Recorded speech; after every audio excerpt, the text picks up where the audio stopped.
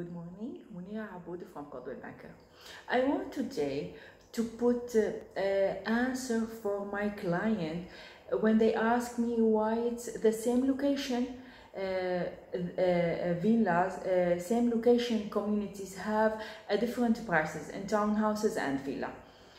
We will answer about Al Qudra Road. We have a different community. We have Arabian Ranches, Damac Hills, Arabella, Mudon, uh, Serena, um, uh, Nashama, Mira, Mira Oasis. This all in the same, there is no difference like one kilometer uh, in the uh, uh, right and left of Al Qudra Road.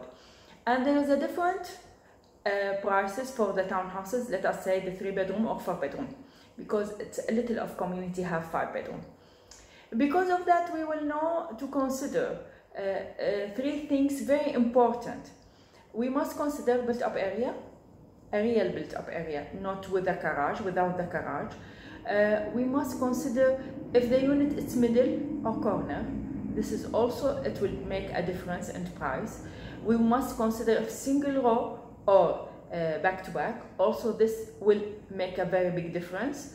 Uh, we must consider if it's in the main road, in Al Qudra Road, uh, the villa uh, garden, it will be direct on Al Qudra Road or it will be in the middle of the community. Uh, if it's in front of a swimming pool or the uh, garden or not, this also it will be different. The point, not everyone, how much villas in the community. Let us say in one kilometer community, if we will have 500 uh, villas, it will be different for 300 villas. That's meaning in the same community, there if the villas it's uh, it's less. That meaning the greenery it's more. The road between the villas it will be more wide, and this will make the community more lighting and more people want to live there. This is also very important uh, uh, uh, point. You must, uh, everyone who want to buy a villa, he must understand these uh, things. And there is uh, another point, the payment plan. We want, when we go to buy from secondary market, we will buy and now in the handover from another people, they bought it from a developer.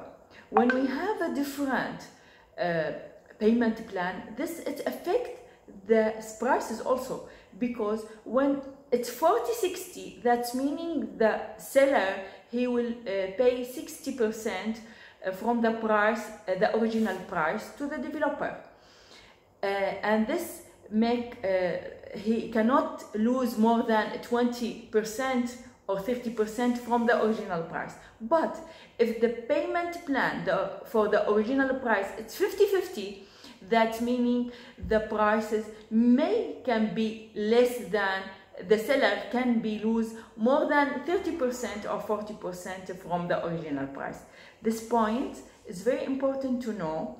Uh, payment plan, location, how many villas in the community. This all will consider when we have a prices and the same uh, same location, different community, different uh, same uh, bedroom villas. Mounira Abboud from Coldwell Banker.